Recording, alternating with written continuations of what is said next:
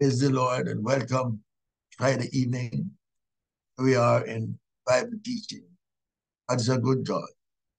At this time, we're going to pray and ask the Lord to present us, to guide us. Let us pray. Our Father, our great high priest, our mediator and our advocate, Lord of glory, God of all grace and the Prince. I humbly bow before you this evening, Lord God, and give thanks unto thee at this day, for this is the day that you have made. We will rejoice and be in it, be thankful unto thee and blesses your holy name. For your good and your mercy endure it forever and ever. Lord Jesus Christ, we thank you for the word of God. Lord, you said we should study to show approve unto you. Lord Jesus, with the desire and passion, the word of God, here we come for you. Lord Jesus, seeking your divine guidance, our eyes, and to enlighten our understanding. Oh God, for what you're about, Lord Jesus, to say to us to this our eyes have not seen and ears have not heard things that you have got for us. Here we are tonight, Lord, bowing down at your feet, giving thanks unto thee, praising thee, O God, knowing that you are great to us, Lord, ever faithful all our lives. Lord Jesus Christ, that's so glad. Bless us, Lord, and we are children wherever they are, locally or nationally, internationally. You know everyone that is called by your name, sealed with the Holy Spirit of promise. Lord, you know them that are yours. The blessing of God be with them. Hallelujah to God. And stay with them, Lord, and be with us tonight. Bless us, Lord, as we deliver everything into your hands. Everyone that is on this room Lord Jesus, send a word into everyone's spirit. Set and keep us, O God, and let our faith grow. And we know that our faith cometh by our hearing. Our hearing is by the word of God. Thank you right now. And any unmentioned mercy, ask grant it unto us, Lord, clarity and utterance be given. Pray and say thank you. Jesus' sake and in Jesus' name. Amen and amen. Let me say welcome one more time, all of us, in the name of Jesus. Hallelujah. Isn't God a good God? Yes, He is. Hallelujah. So this evening we'll be in looking at I mean Samuel, First Samuel chapter six, foundation script. Take it links Sunday school. Um, so, so I'm gonna go a little way back, just in First Samuel 16. I'd like to go into Ruth chapter 4 a few verses of scripture, just to make for clarity and to um, bring further understanding where David come. And I think we need to know that David, uh, there is ancestors are from. Um, so we are going to Ruth chapter. Amen. And we're gonna start to read um uh verse verse 12. We know about Ruth and Naomi uh, from Moab that um, Naomi went to Moab, Mahlon, Chilion, and her husband, and all three men died. And uh, two of them were married, but Ruth came back to Bethlehem with Naomi. They have anything, but we know that God was on the job for them. So there was a man that was a kinman, and his name was Boaz. Boaz. I mean, Ruth chapter 4. Now, and Boaz now, as a kinman, they were dead. Uh, Naomi was destitute, they had nothing. So God sent help, and they needed to have a king. Kinsman mean a relative. And uh, saying that, we just remind ourselves that Jesus to come and help us. We, Adam had lost everything for us. We had nothing left. Lost eternal life. We lost uh, fellowship and we lost our identity. Amen. We lost and we couldn't find anyone to help us. God robed himself in human flesh, became like us, so he became a relative, a human. So the king one had to be a relative. He had, he got to have the means to do it, had to be willing to do it. Jesus Christ came, put on humanity be related to us. And then as God, he had the, um, the ability to do it.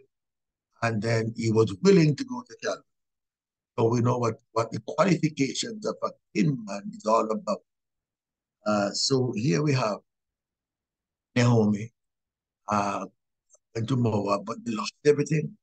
So they came back now to Bethlehem. She brought back one of the daughter-in-law named Ruth. And she um, wanted Ruth to go back to her own people, Ruth, oh, Ruth said, me not to leave thee, nor to return from following after thee. But where thou goest, I will go. Where thou lodgest, I will lodge. Thy people shall be my people, and thy God shall be my God. Here we are guided to follow uh, in Naomi to the Israel God. She's Jehovah. Right? So she came back. He did a kinsman redeemer. However, the Bible continues to tell us that there was a man, Jacob's son, a fourth son, who blessing from Jacob, and his name was Judah. Now, Judah, when Jacob blessed him, that the scepter should not depart from Judah, nor the lawgiver from between his feet, until Shiloh come. Shiloh is a prophetic name for Jesus. So Jesus, the sons of uh, um, Jacob, that's God's chosen people. Because Isaac is the father of Jacob, and in Isaac shall thy seed be called. Jacob's name was changed from Jacob to Israel. Israel is the name of, of the country, and it's now the name of a man. So Jacob had 12 sons. You know, uh, the first four was, three was ruled out. That was Reuben, Simeon, and Levi because of their misbehavior. And then um, Jacob decided to bless Judah, the one that carried everything to the family and the, the legacy. Judah, but Judah backslid and went down to the Adullamite country and went out from the family and married to a Canaanite. And then he had three sons, and we know the story. They were not very good boys. And because they misbehaved, the Lord had to, uh, two of them died. Um, so one was left, and there was a young lady down there named Tamar. And there's a story, Genesis 38. Get that story? And he saw that when uh, she decided to deceive Judah, and uh, Judah um, got involved with her, she got pregnant. And then when Judah sent for her to burn her, you know, men in those days had such authority of family honor. And Judah would not being honorable either because he left out of the lineage, lineage Jesus would come and went and tried to introduce foreign blood in the holy bloodstream. And this is where the problem was. So Tamar then, on the day of her delivery, there were twins in her womb. Twins in her womb. Now, we know that um, according to the scripture, first thing, our first one that comes out of the womb of the matrix belongs to God, whether it's animal or man, whatsoever born first belongs belongs to Israel.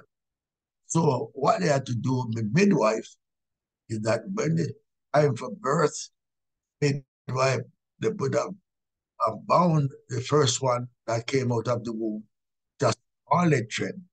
Scarlet is a red thread because red is, is Israel national color. So she would have bound his hand with a scarlet thread, identify him as first. All right. But so while he came out and she bound this one, the scarlet he went back into the womb. And the one that was in the womb came out first. And these two boys came out. uh, and is the one that represents Israel went back into the womb, came out second. I know the Lord made choice of, of the one that came out. Now these two boys' name, one was Pharez and one was Zara. So the Lord made choice of Pharez and, so and, um, and Zara, the one with scarlet thread. The Lord didn't choose him. And so the scripture here tells us that these two boys, and Pharez was the one that the Lord has chosen.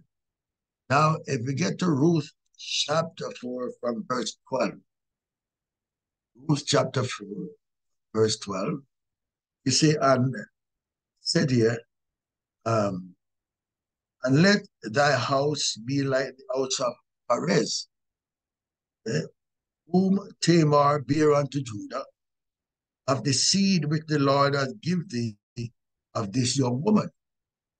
Now, Kingman Redeemer, we, that when Naomi came back to Bethlehem with Ruth, Kingman was Boaz.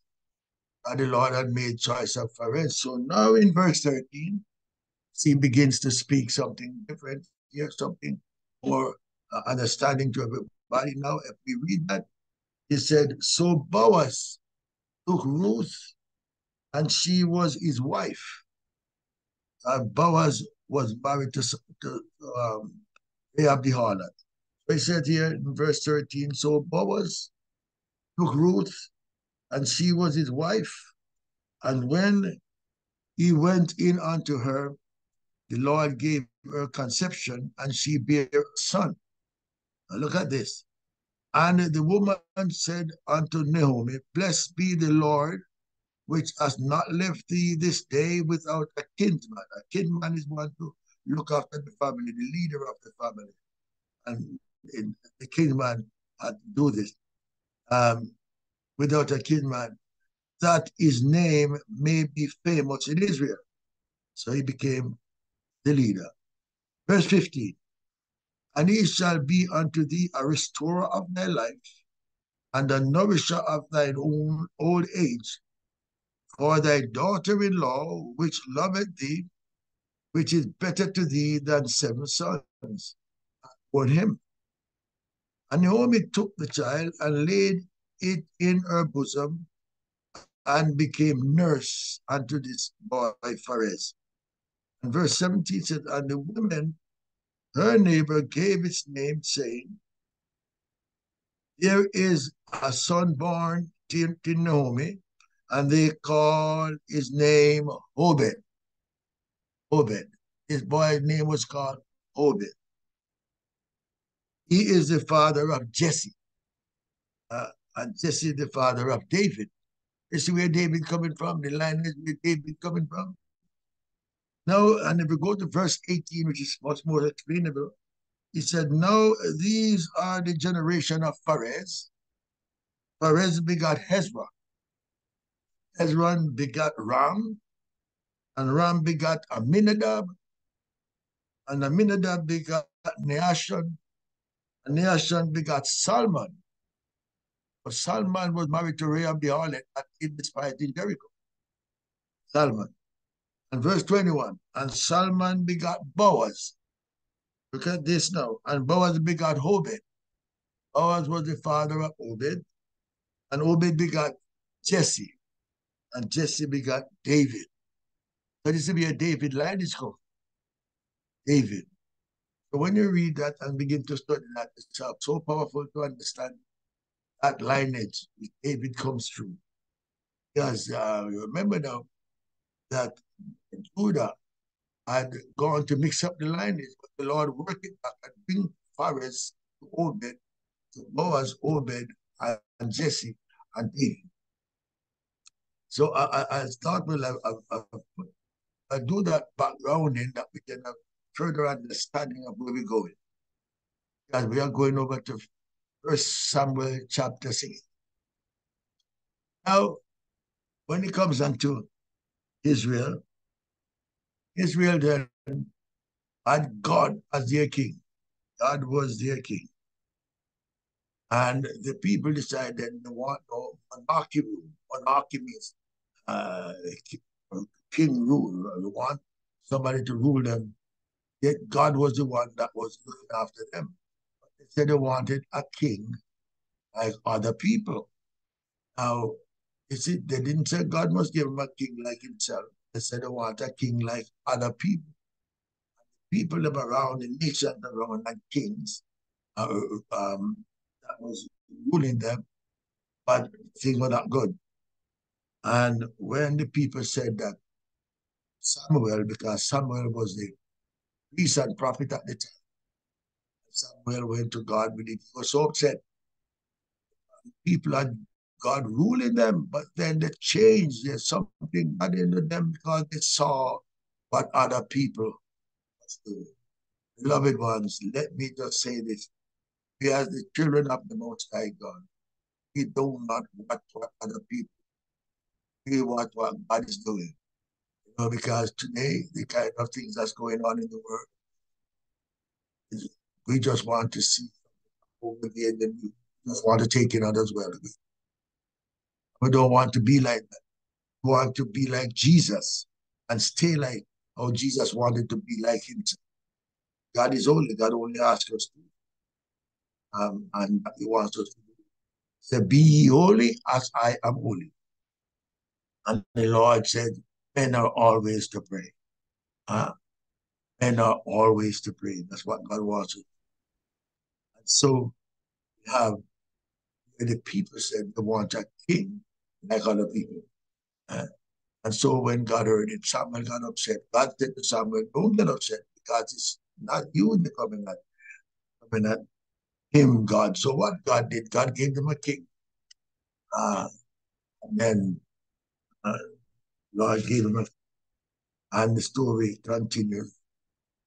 It was time by the rejection of God and the one uh, a man to rule them. What the Lord did was cause to um, take a king from Jesse, Jesse, sorry, from Kish. Now Kish comes from the tribe of Benjamin. Why did God take from the tribe of Benjamin? Because um, David, um, Jacob had 12 sons. And the, the last his son name was Benjamin. Now, Benjamin was born when uh, when Jacob name was changed by God, Israel. Israel means a prince of God. We find that Benjamin was the only one that was there with a priestly line of descent. If you want to get a king uh, or somebody royal, you have to get it from a royal background. Now we have Benjamin, the, the last son of, of, of Jacob. He born a prince. And so it was that you had Judah on the messianic line, you had Benjamin who had the priestly line. So when the kingdom, well, remember when the kingdom was divided, so the, the two tribes of the southern kingdom was Benjamin and those were the two tribes that was at the south, and the 10 tribes was up north under Jer Jeroboam. So we find that if they wanted, so Lord uh, told Samuel that there's a man named Kish in the tribe of Benjamin, very tall, above, high above all the rest, and he stands out a lot. Well, let him crown and give the people. So this man was Saul.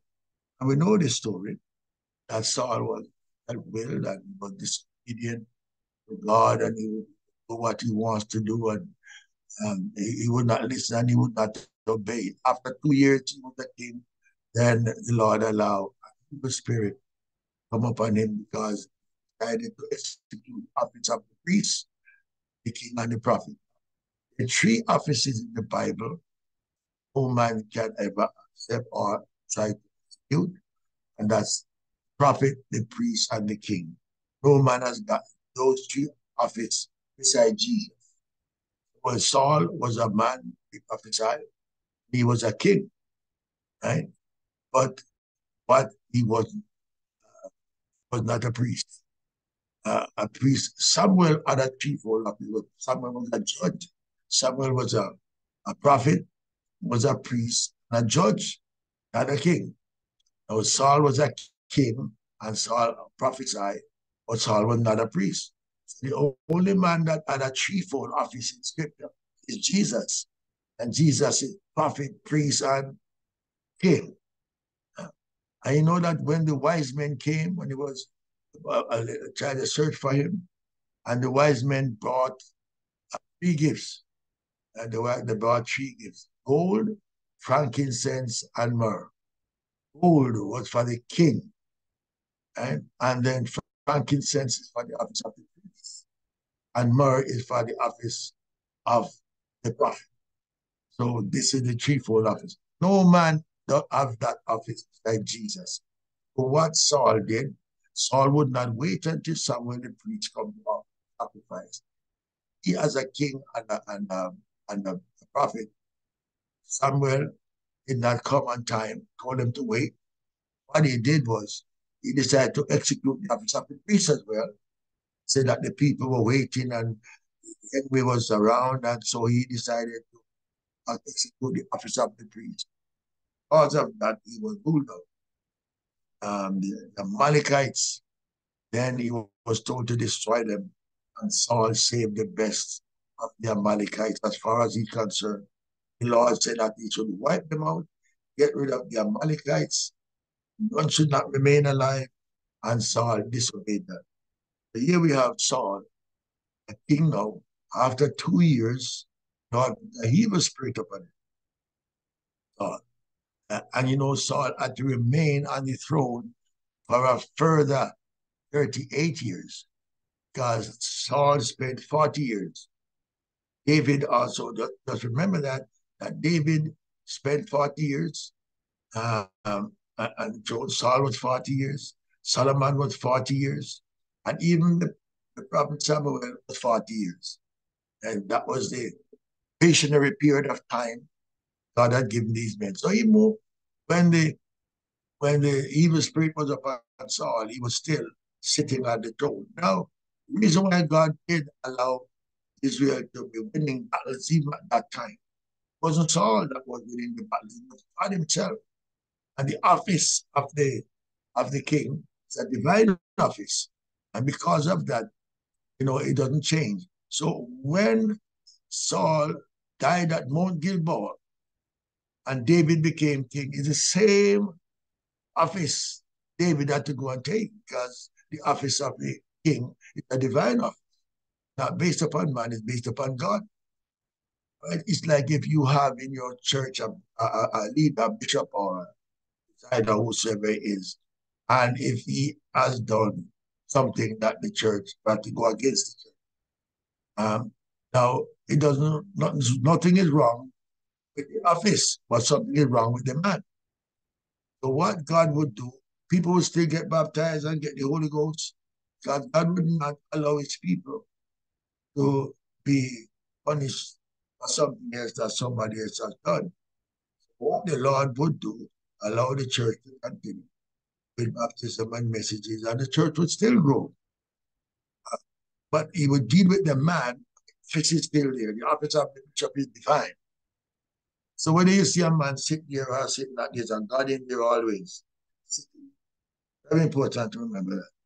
So here we have uh, Saul now, and Saul did disobey, and Samuel rebuked him. God had left him.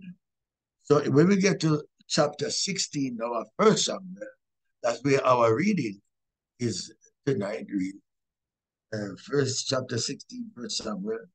Um, the Lord had rejected Saul. Uh, reject, rejected Saul. And verse 34 of chapter 15, said First Samuel, verse 34 of chapter 16, 15, I should say, chapter 15. It reads, Then Samuel went to Ramah, and Saul went up to his house in Gibeah of Saul. And Samuel came no more to see Saul until the day of his death. Samuel didn't bother with him from there. Nevertheless. Samuel mourned for Saul, and the Lord repented that he had made Saul king over his. Talking about disappointment, God was disappointed in him of his behavior and, and how he became disobedient and self-centered and wanted to do everything his own way and not even consulting God. So here we have um, Saul then rejecting. But Samuel, with a heart, a good heart, this prophet, knew that Saul had such a great opportunity to be a leader of Israel, then um, disqualify himself. What disqualified him? He disqualifies himself, judged himself unfaithful, unworthy. And because of that, he lost. He, he, he remained the 48 years, but he died at Mount Gilboa, and not just him, and his two sons, Melchizedek and Jonathan, died at Mount Gilboa. So we move into chapter 16 now. Let's look at David. Now, we know that David, uh, Obed, uh, David, Jesse, we just looked at all of those over in Ruth, right? Now, the same David is going to become king.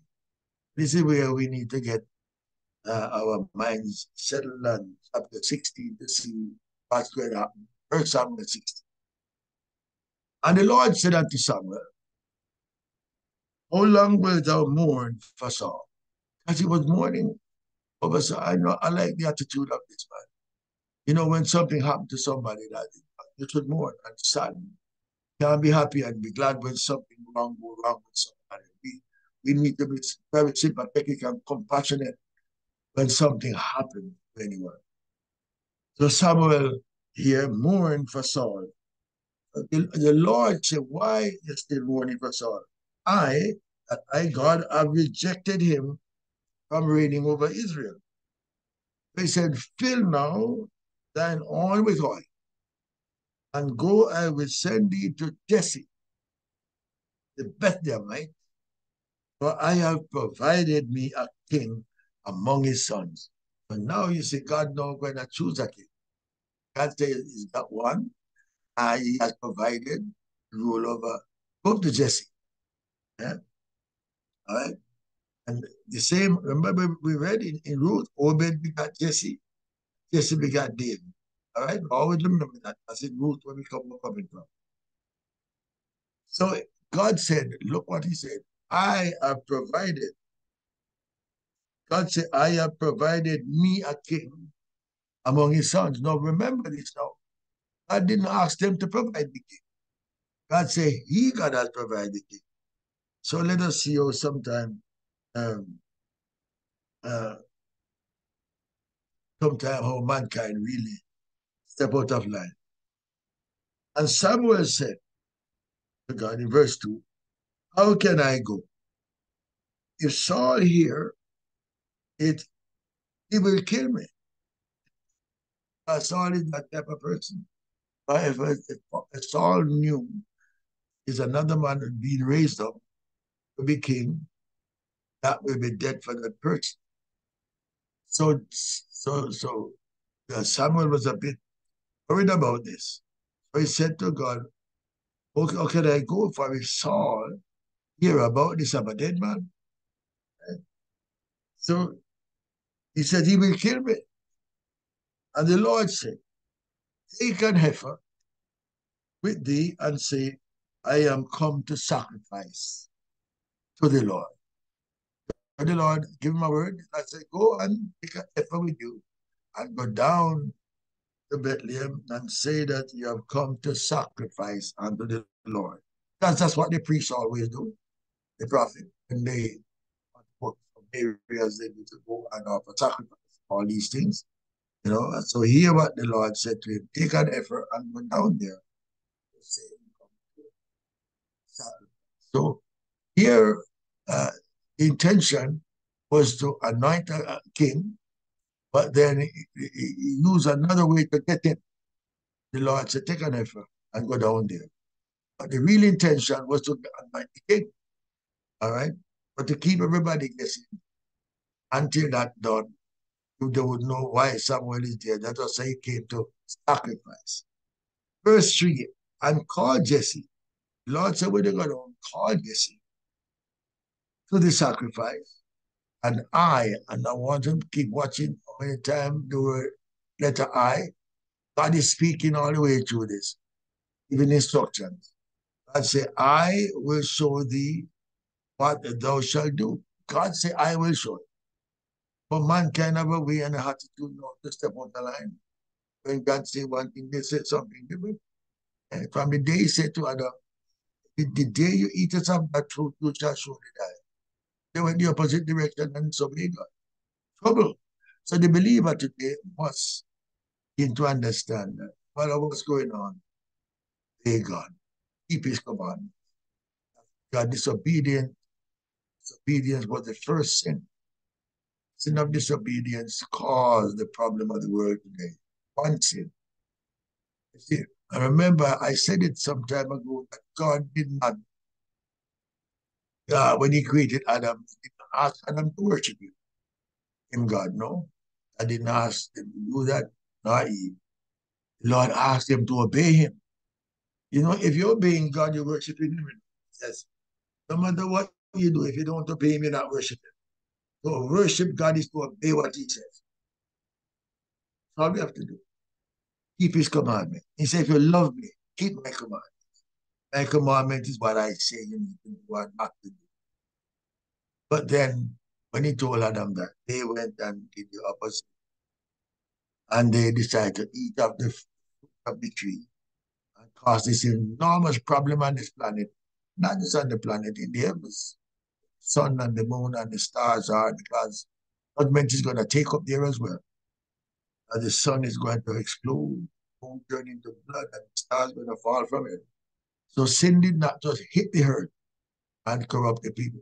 It's the heavens and it's the heaven and earth shall pass away. A new heaven and new earth. We must always remember that. So let's read verse 3 again. And call Jesse to the sacrifice, and I will show him what thou shalt do. God said, I show what you do. And thou shalt anoint unto me him whom I name unto thee. God was clear on that, right? He will name, he will appoint. Verse 4. And Samuel did that which the Lord spake. Now look at this now. He did that by getting the effort to get down to Bethlehem. All that went by all right. And came to Bethlehem.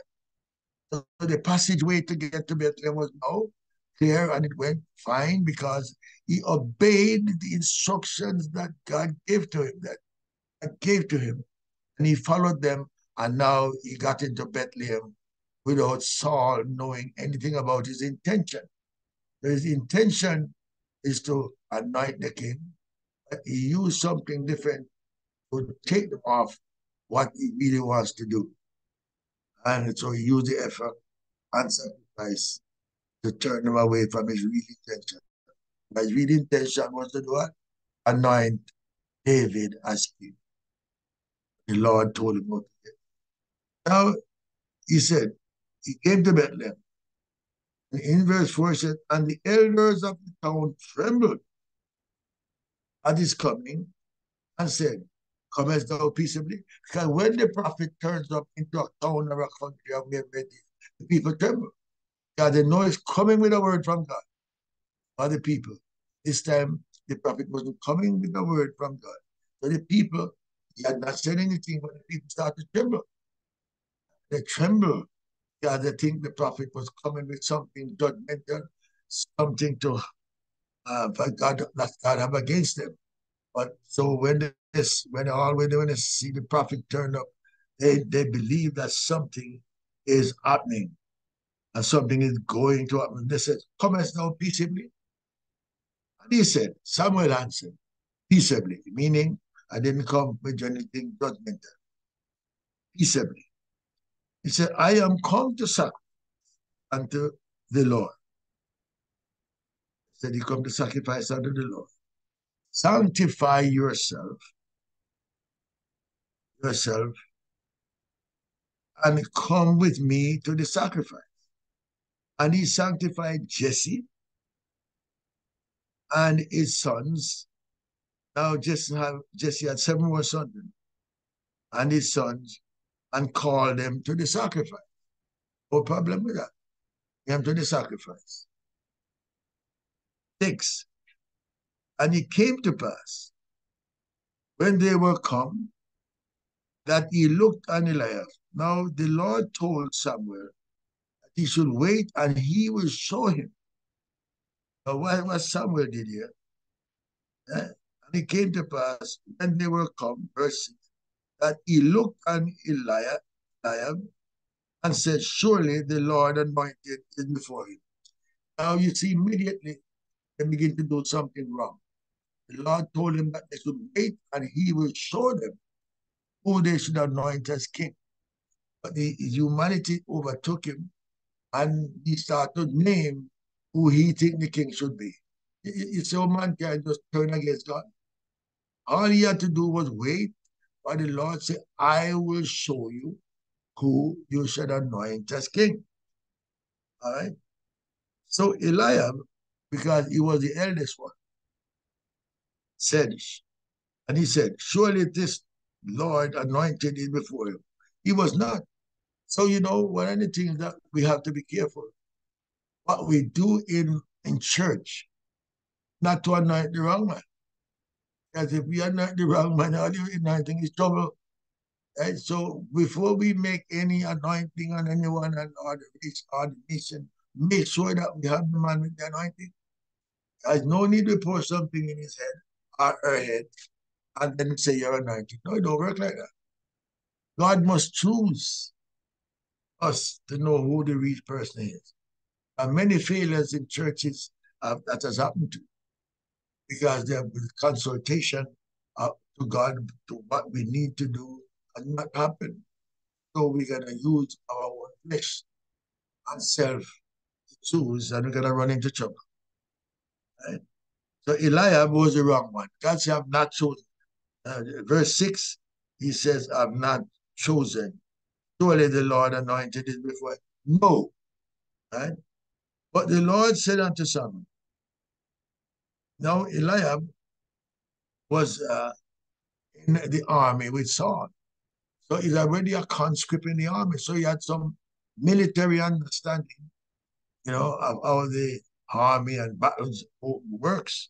So here we have um, Samuel decided that if he's in the army, Saul is in the army, so God would choose somebody from the army. No.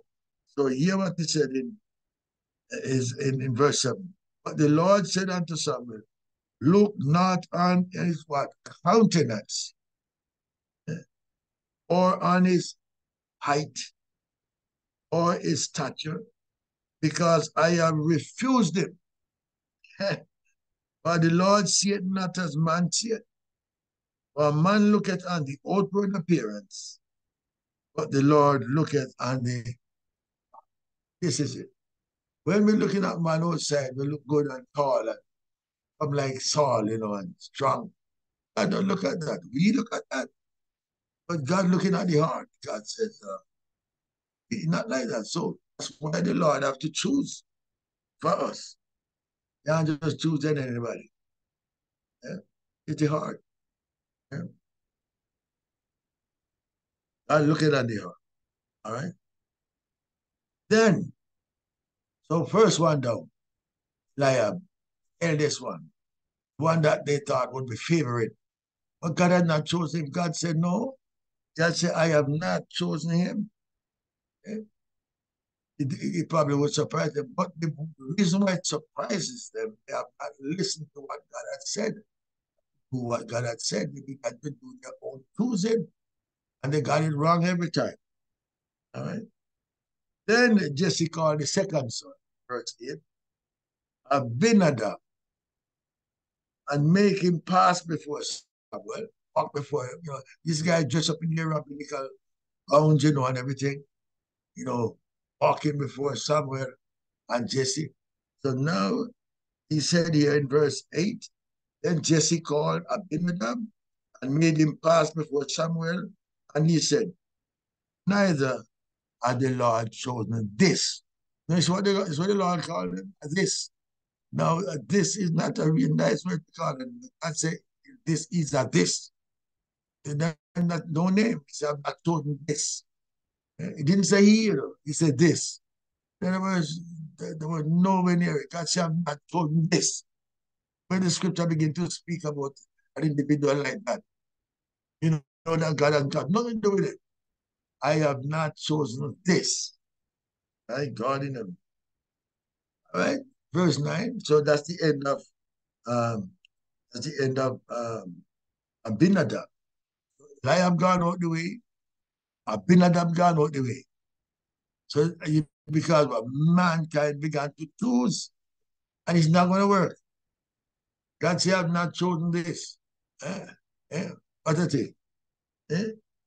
And if God say you're a this, no matter what you think I am a prince, God said, no, you're a this. Right? Verse 9. Then Jesse made Shammah to pass by. And he said, Neither have the Lord chosen this. the Lord had not chosen this. So we have to be careful who we choose and who we pick and who we put in God's business. Because we see from the outside, but God deal with the heart. So that's the, that's the message here this evening. Okay? We look on the outside, but God knows what's in the heart. So we allow the choosing, let God do the choosing. Now we're going to get it wrong. Okay? Verse 9, the Lord had not chosen the ship. So Shammah been ruled out, Elijah been ruled out, and Abinadab been ruled out. All right? Let's move along. All right? The Bible said now. There was seven of them, you know, seven, seven brothers. Okay? Verse 10, it says, Again, Jesse made the seven of his sons pass before Samuel. So, they, so what they did now, allowed them to walk in front of them and march them up and down, march them up and down, looking at their, their physique and the height and how big they are and how long they've been in the army and they were conscript in the army and fight battles. God don't look at that. God wants a man with his after his own heart. Right? So again, verse 10, Jesse made seven of his sons pass before Samuel. And Samuel now realized something is wrong. Now look what God had told him. They, they disobeyed what God said from they, they, they, he got into Bethlehem. So he said, and Samuel said unto Jesse, the Lord had not chosen these. So the compromise these two are these. God said there are these. He doesn't chosen these. These mean the lot of them.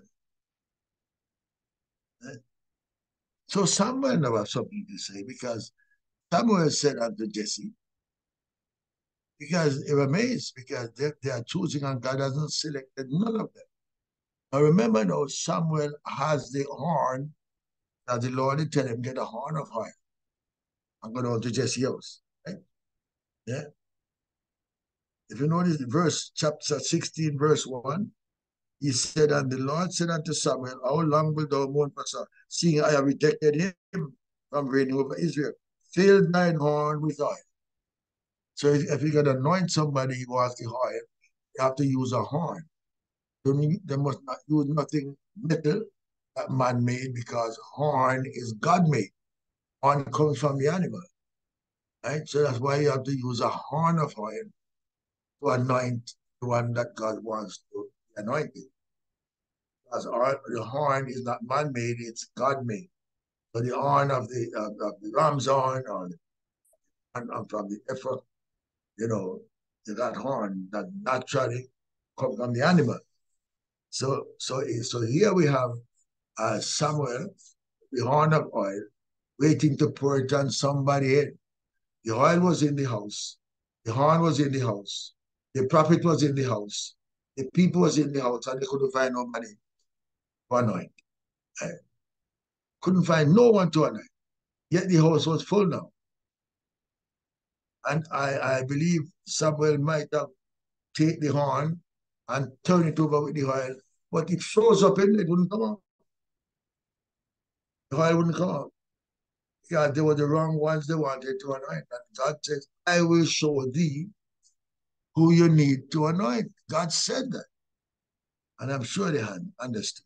All right? In verse 11, and Samuel said unto Jesse, Are there all thy children? Eh, that's all the children you have? Is there any more? And he said, There remaineth yet the youngest. And behold, he keepeth the sheep. And Samuel said unto Jesse, Send and fetch him, for we will not sit down till he come hither. Now, you notice something here? That Jesse had not even told Samuel what his name is. All him say the youngest one, and he's Indian. He remained yet the youngest, and we only keep it. So he was in the bushes. Now, they, they want to set the sacrificial table, and they have everything ready. All these guys dressed up in their high priestly clothes, rabbinical uniform. But the, the one that God wants to anoint, he was in the bush. Nobody, nobody looked uh, bothered about him. They were going to sit down and have a meal without him. He was in the bush. Right? They didn't care about him. As far as they're concerned, he was just like an outcast. Because his mother was not the same mother as the rest of them. You see, and, and, and when you begin to search the scripture, you find that out. So they kind of just put him one side. He was outside in the bushes. He turned into the sheep and the and, and, the, and, and the cattle. All right. So let's read verse 11 again. And Samuel said unto Jesse, Are there here all thy children? And he said, There remaineth yet the youngest, the youngest. And behold, he keepeth the sheep. They have him as a shepherd. It's a good thing for him, good things to build his character. He was a shepherd. Uh, and Samuel said unto Jesse, Send and fetch him, for we will not sit down till he come hither. In other words, if if if, if one of them amongst the seven, they fit the bill, David would not be invited. He would be down there in the bushes, looking after the animal, and they forgot all about it. He did not even tell Samuel what his name was. He said, youngest one in the bush down there. Huh? He said, go and fetch him, get him now, and let him come here. All right, verse 12. And he sent and brought him in. Now he was ready. Was ready. Look at and withal of a beautiful countenance. Nice looking young man.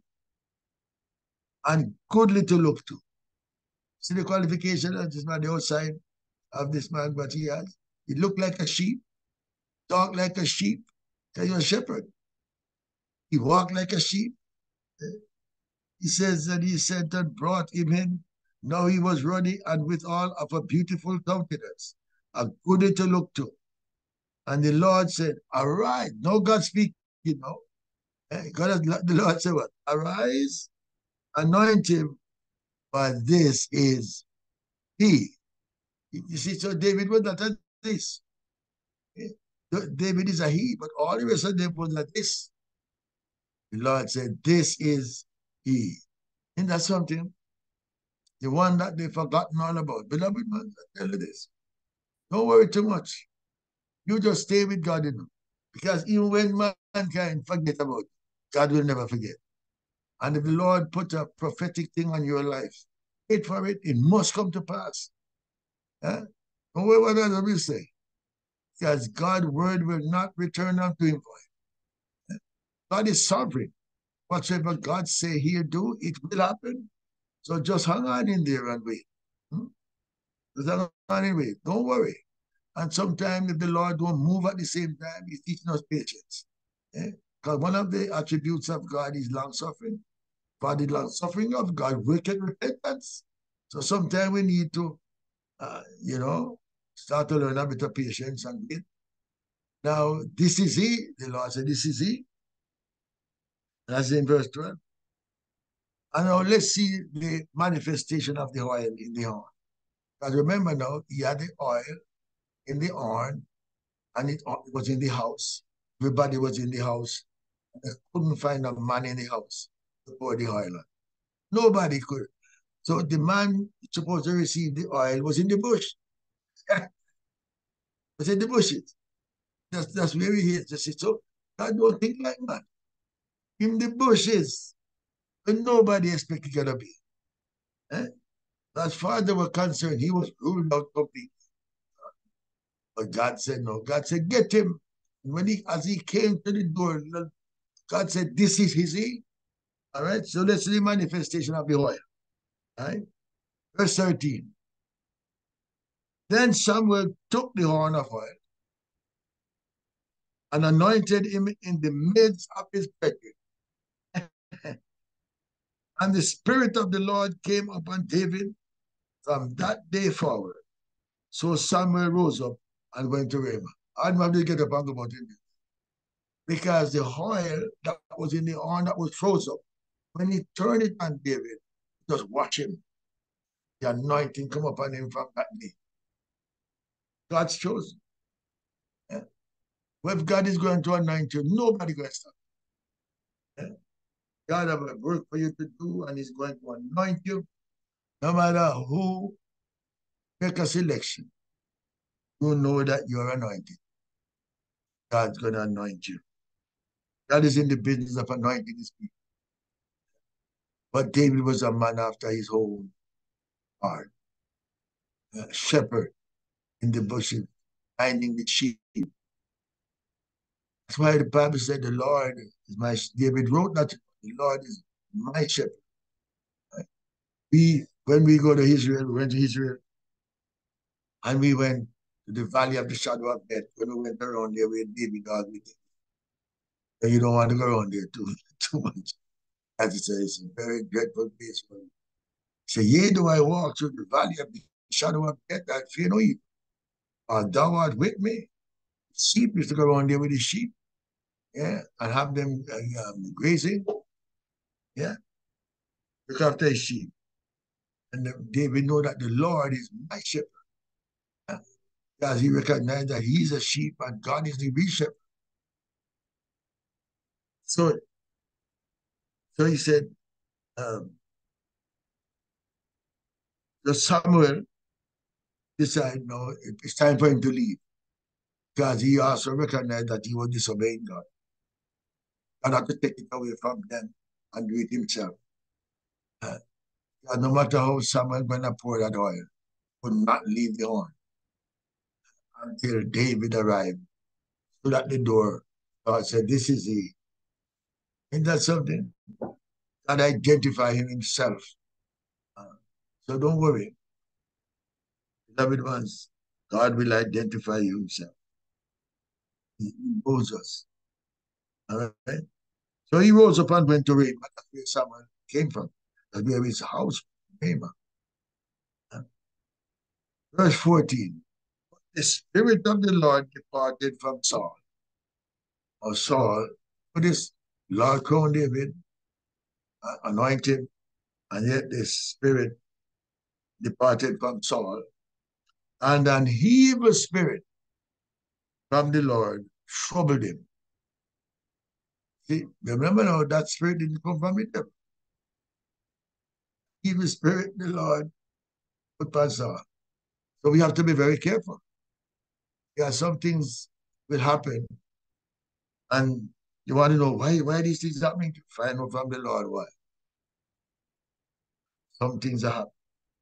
Evil spirit, God put on it. So God can put an evil spirit upon any man won't give himself. So we need to behave a, and behave as what God wants us to be. Saul continues doing what he's doing. Now, verse 15. And Saul's servant said unto him, Behold now, an evil spirit from God troubleth thee. And you see, it, it, it can't leave. If God put no evil spirit on him, can't, can't leave. He will stay there as long as God wants it to. Let our Lord, verse 16, now command thy servants which are before thee, to seek out a man who is a cunning player on an harp. It shall come to pass when the evil spirit from God is upon thee, that he shall play with his hand, and thou shalt be well. So hear what he's saying? They need a man, man that has some understanding of playing the harp. David was a musician, it was a harpist. And, and they want somebody to come and play for Saul. But when the evil spirit takes him, calm him down. Eh, so now they're looking for this man. And Saul said, Provide me of a man that can play well and bring him to me. That's verse 17. But then answered one of the servants and said, Behold, I have seen a son of Jesse, the Bethlehemite, that is cunning in playing, and a mighty valiant man, and a man of war, and prudent in matters, and a comely person, and the Lord is with him. So they have identified this when they realize, let's see who it is. Therefore, Saul, verse 19, Saul sent messengers unto Jesse and said, Send me David thy son, which is with the sheep. So look at that. Not, to send one of his son who was on the top top rank and in the army. It says, send me the one who's looking after the sheep. You see when God ready to lift you up? The king sent for him now. Separate boy to come. Yes. He who I said, make sure send the one that looks after the sheep. So you got an identification that he's a sheep shepherd, looks after the herd, the herd. David, thy son, which with the sheep. And Jesse took an ass in with bread. Now, Saul sent for David. Jesse's father didn't just send David. Decided to send presents for the king as well. And Jesse took an ass, verse 20, laden with bread and a bottle of wine and a kid, and sent them by David his son unto Saul. Here we have Saul gonna meet David now for the first time.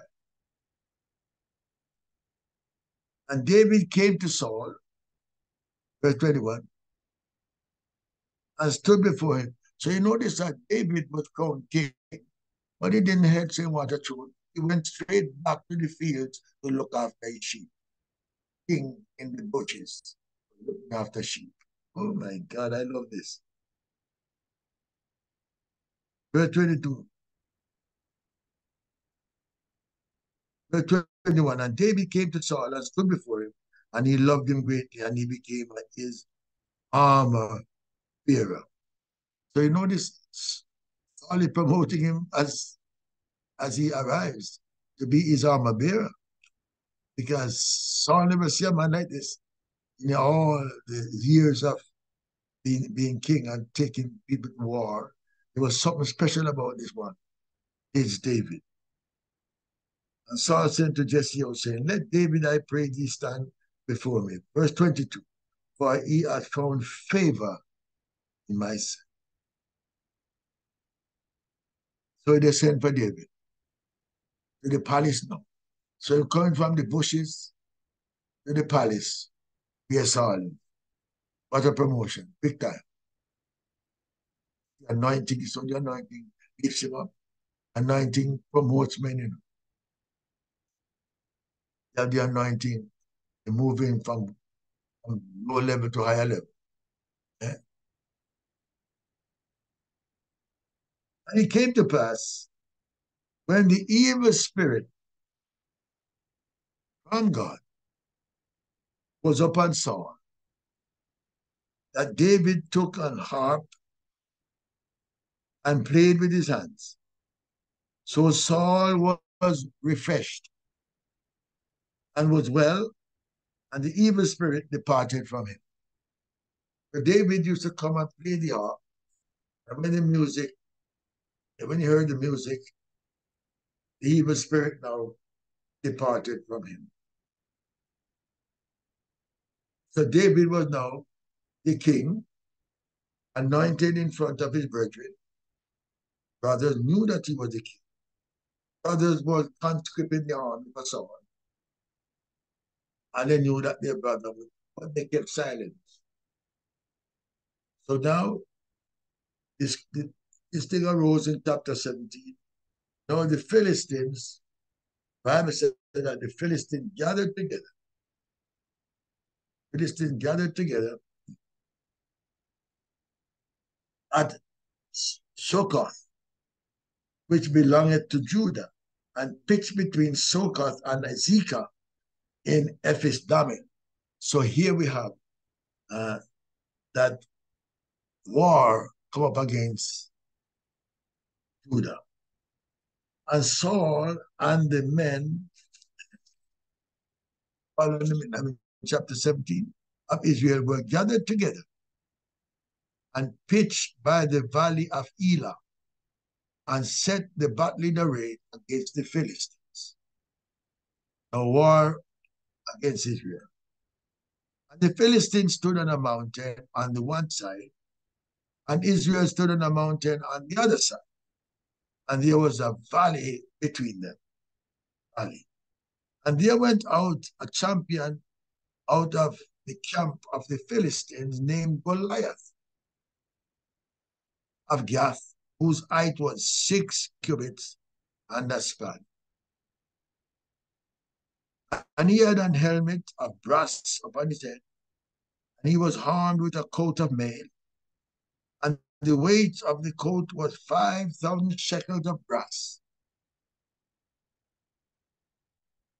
And he had greaves of brass upon his legs, and a target of brass between his shoulders. In other words, he was well fortified.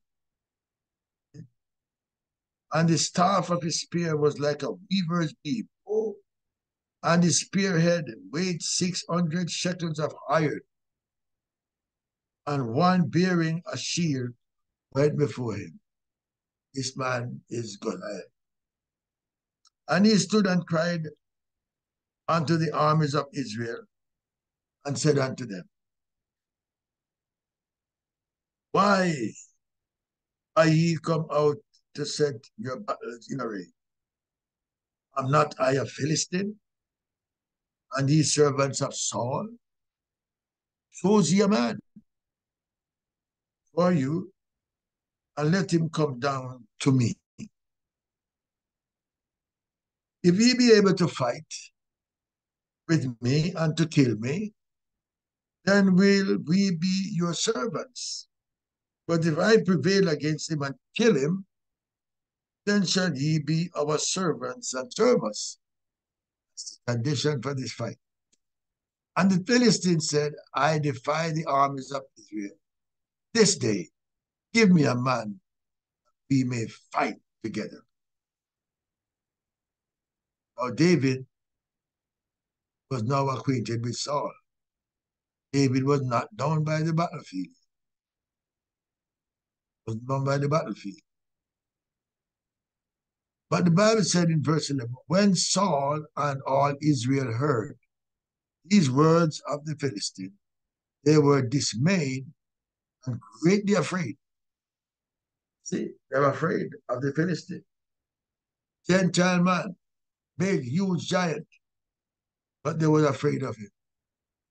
You see, if the anointing was upon Saul, he would be afraid of it, but Saul knew that he was weak uh, when the, the enemy comes out uh, at him, he's weak, greatly afraid. Uh, they were dismayed and greatly afraid.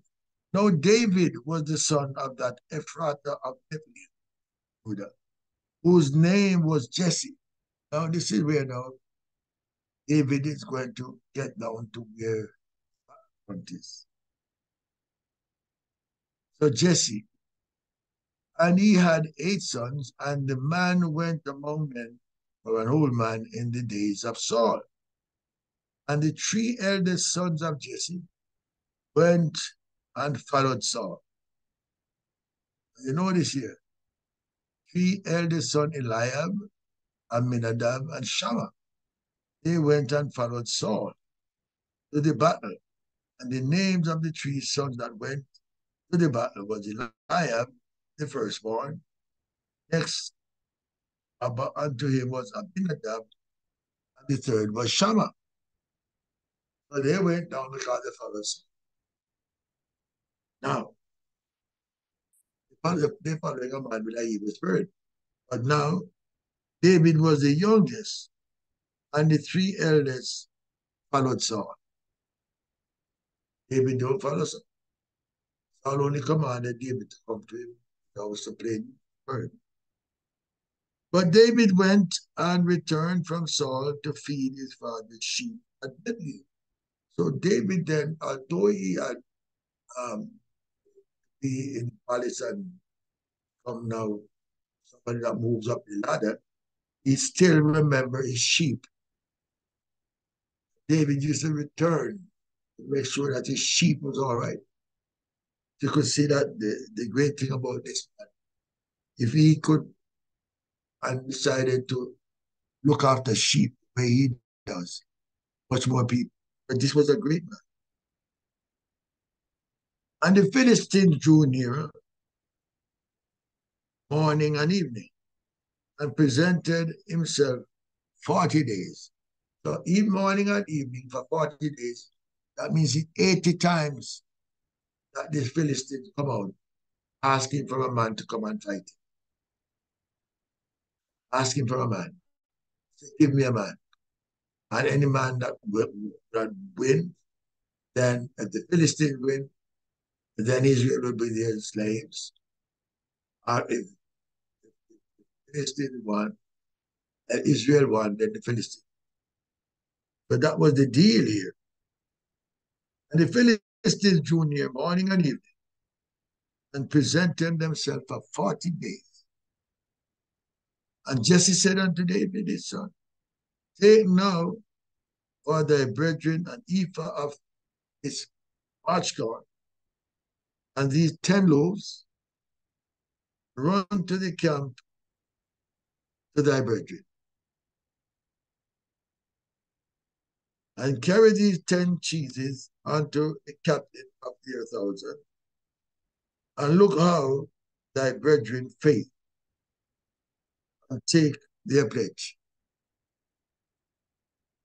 So now, somehow, Jesse realized that something was not right on the battlefront.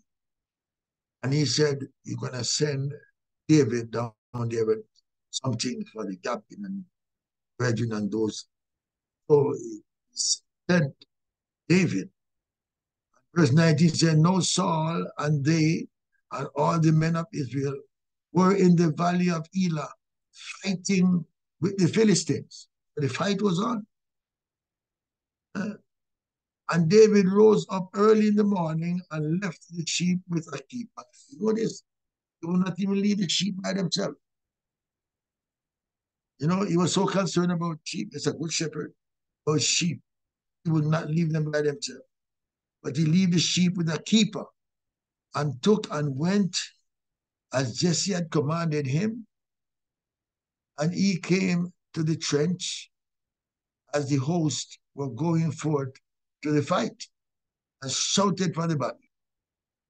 For Israel and the Philistines had put the battle in array, army against army. So the fight was on. But Israel was in trouble. And David left his carriage in the hand of the keeper of the carriage and ran into the army and came and saluted his brethren. And as he talked with them, behold, there came up the champion, the Philistines of Gath, Goliath by name, out of the armies of the Philistines, and spake according to the same words And David heard him this time. David heard him.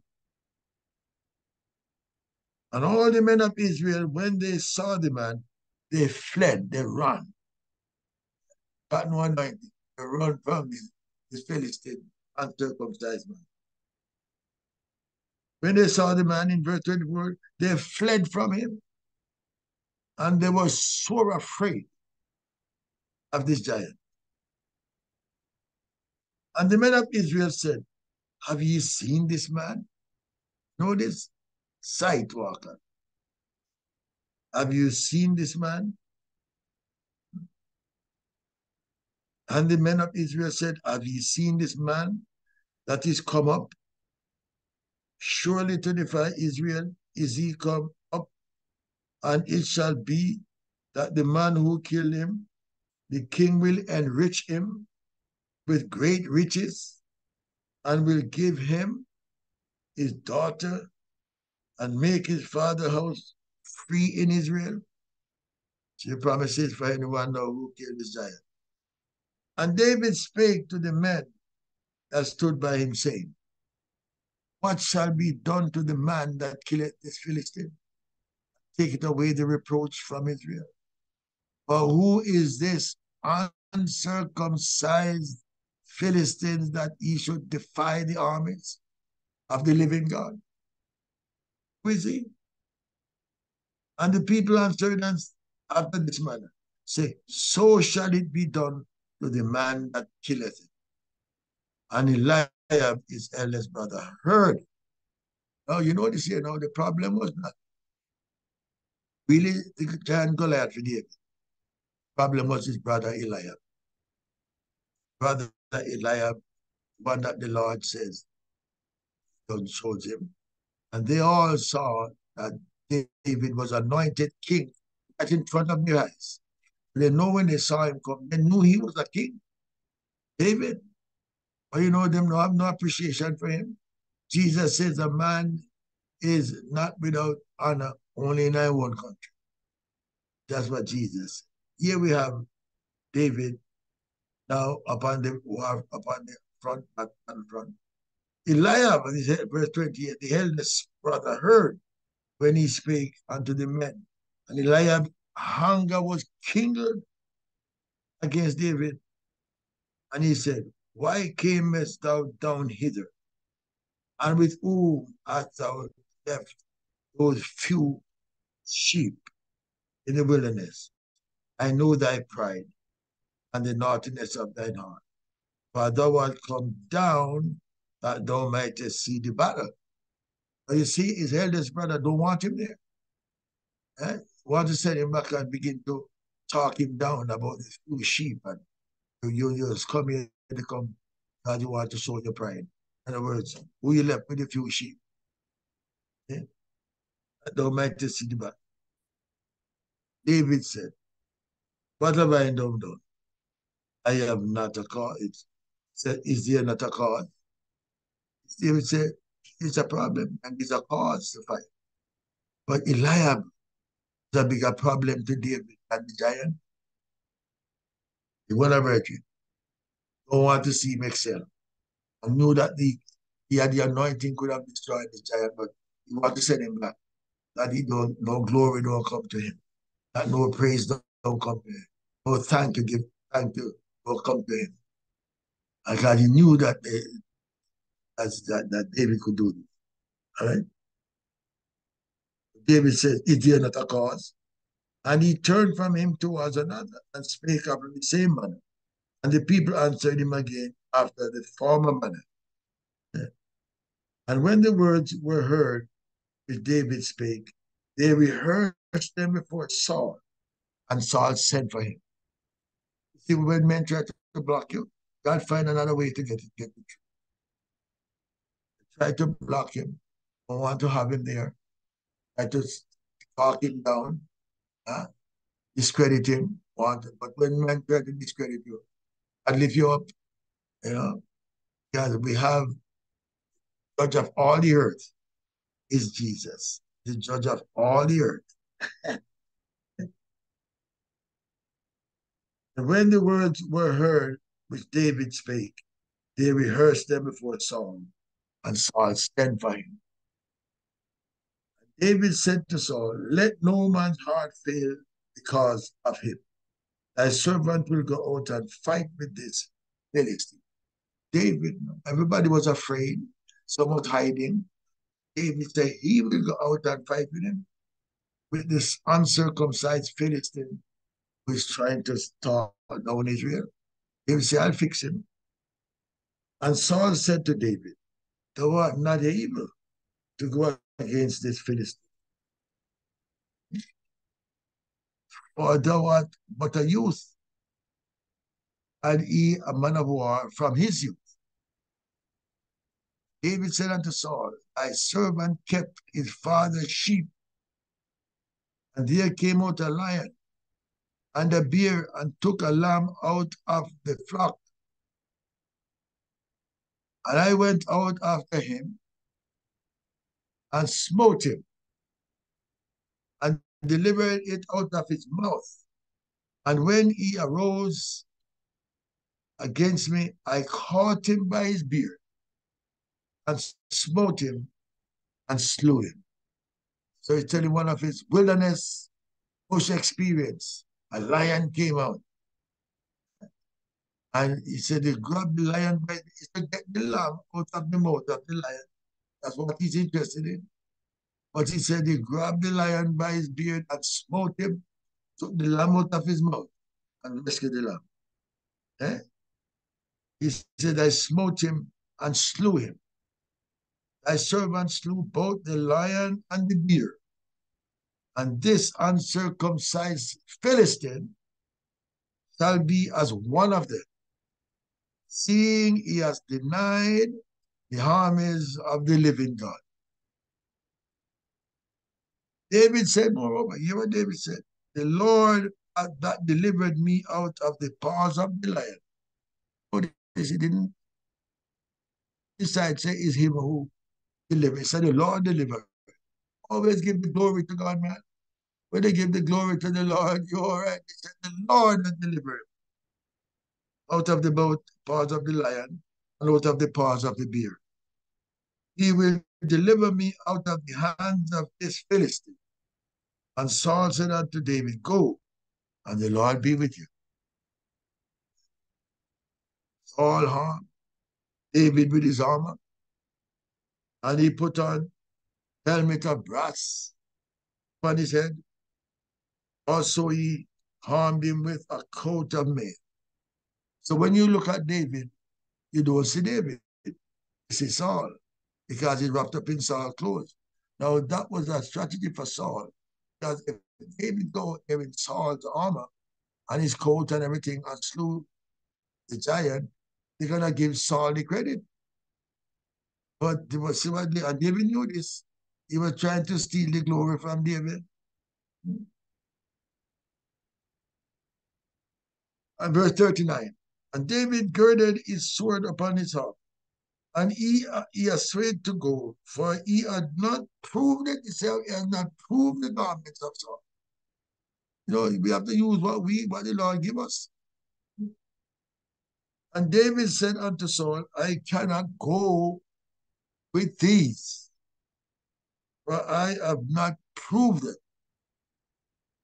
And David took them off himself. Take them off. You see, David, you see, when you use the fasting and prayer, that's the weapon you have. But the weapon of our warfare is not carnal, but it is mighty through God to the pulling down the strong. So you don't need Saul's shield and Saul's coat and armor. No, we have the Holy Ghost. David had the anointing. He had the anointing. So he put off Saul's armor, what they tried to put on him. And he took his staff in his hand and chose him five small stones out of the brook.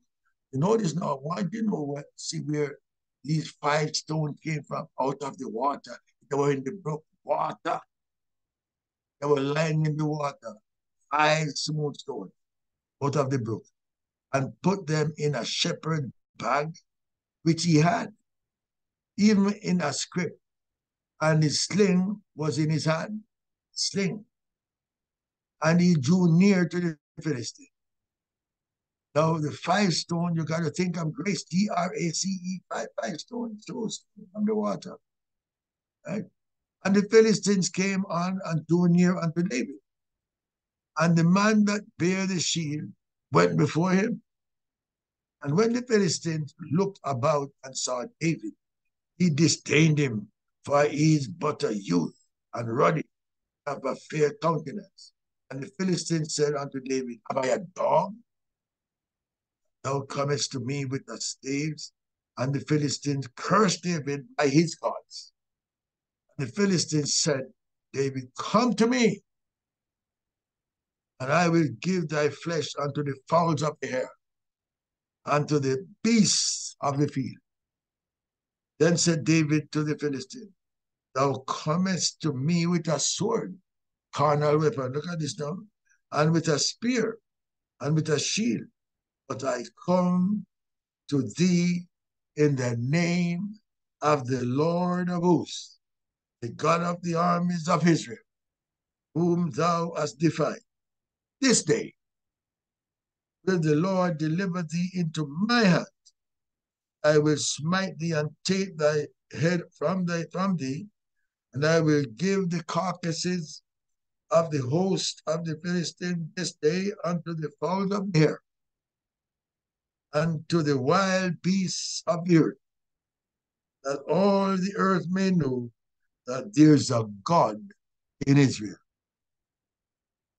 And all this assembly shall know that the Lord saveth not with sword and spear, for the battle is the Lord, and he will give you out into our hands. And it came to pass when the Philistines arose and came and drew nigh to meet David, that David hasted and ran towards him in the army to meet the Philistines. And David put his hand in his bag, took thence one stone, and slung it and smote the Philistines in his forehead, that the stone sunk in his forehead, and he fell upon his face to the earth. I want to see this. Now, the, the stones hit him in the forehead. He didn't fall backwards, he fell frontwards. Because at the name of Jesus, every knee must bow. So even the giant knew what to bow. When the stone hit him.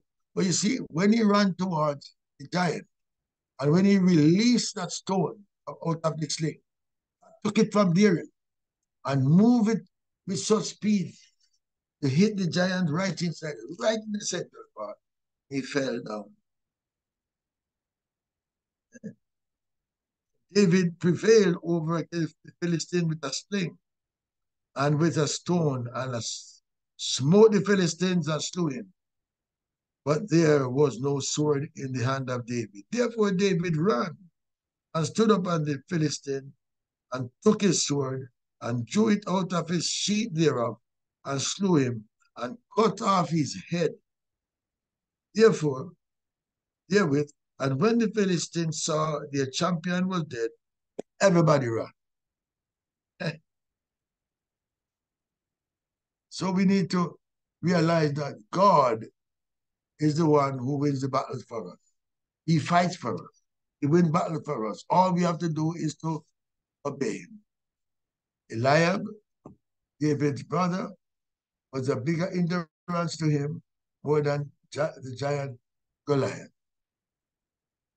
See, they knew that David was a king because he was anointed in front of them, right? In the very presence in the house of Jesse. And they knew it but they just can't accept it. When God is promoting you, the enemy will come against you. But don't worry. Worry. God have a way to take you out and promote you. So don't know you are David as the, the, the field, the bush experience, where the lion and the bear slew, slew them. Nobody saw that. That was his private victory. The Lord is going to promote him publicly. So from the bushes where the lion and the bear was, uh, David and his victories there, but then the Lord took him public, you know, and gave him a public victory, and he killed the giant that came out against Israel. When all that happened, the people now begin to give a problem. Because the choir, choir began to sing. And instead of they give God the praise, they began to sing, Saul has slain his thousand, but David is ten thousand. Now, when they begin to sing that, if the other was sing and say, God, we thank you for killing the, the, the enemy, no problem. From the moment they say Saul is slain his thousand, David is ten thousand. That thing rise up into Saul. Saul realized now that he was in decrease while David started to be increased. Eh? And he knew that his, his descendants was threatened because Jonathan, his son, was second in command for the, for the, for the succession of Saul, that was on his way out. Jonathan knew it too. Jonathan told David that, and gave David his coat of arms, gave David his sword, and, and then surrendered to David and say, I will serve you. Eh? Good lad, Jonathan was. Because you realize if a man is better than you, let him carry on. Don't fight him. Support him. And David support. And uh, Jonathan support David. And although Jonathan died in Mount Gilboa because he followed his father through tradition, brothers and them met to and then there is uh, um, Jonathan uh, gave the same day with Saul. When Saul stopped hearing from God, he went to a witch. You know, so we have to be careful to not find yourself going towards other people. Don't go to people. Go to God. Yeah. Don't go to other people. And say, go to look help. Help is in God. Yeah? That's what I. The Lord is my light and my salvation. Whom shall I fear? The Lord is the strength of my life. Of whom shall I be afraid? When the wicked even mine enemies and my foes came upon me to eat up my flesh, they what? They stumbled and fell. Not true? Psalm 27. God bless you tonight. In the name of Jesus Christ. Keep on reading this. You're gonna over the next few days, you're gonna be having, I believe, the same scriptures. Um, Sunday, David uh, being anointed in front of his brethren. So the anointing is needed to fight battles.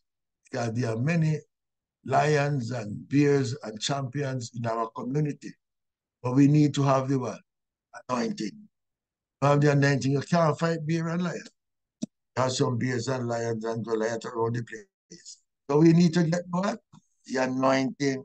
God bless you in the name of Jesus Christ. Good to see Sister Cynthia Gardner here. God bless you. In the name of Jesus. Amen. I can see my nephew, uh, Jephthah McLean from Jamaica. God bless you, son. God bless you. Amen, Sister uh, uh, Sister Annette Callum Clark. God bless you. Sister Geraldine. God bless you, Brother Rupert and Sister Rupert and Sister Sue.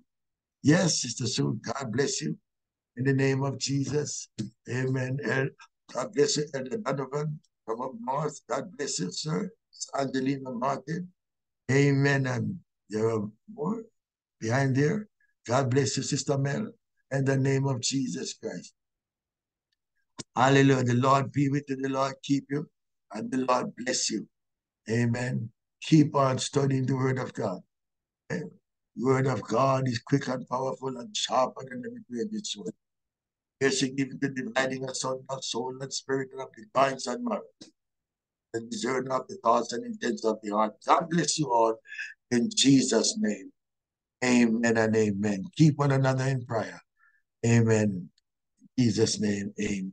Father, we thank you. We worship and we praise you. We honor you, Lord, for this very moment that you have been with us, Lord, and have opened our eyes and our understanding we know, Lord Jesus Christ, that you are a spirit and they that worship you must worship you in spirit and in truth. Know that the battle is not ours, but is yours, God. So, Lord Jesus Christ, help us to humble ourselves at your feet. Out the spirit of humility. He said, We draw nigh unto you, you will draw nigh unto us. We submit ourselves unto you, and you will lift us up. Bless us now, we do pray, and we deliver every one of us into your hand. Bless our bishop at this time and his wife and his family, Lord, we do pray all the saints in Bethel, locally, nationally, and internationally. Lord be with us all. We thank you right now. Jesus' name. Amen and amen. And just let us say the benediction. And now may the abiding grace for our Lord and our Savior Jesus Christ, love of God and our Father, faithful fellowship, communion of the Holy Ghost, the Comforter, rest, remain and abide with until Jesus come again. God bless you all. In Jesus' name, amen and amen. Hallelujah. Hallelujah. God bless you. Amen.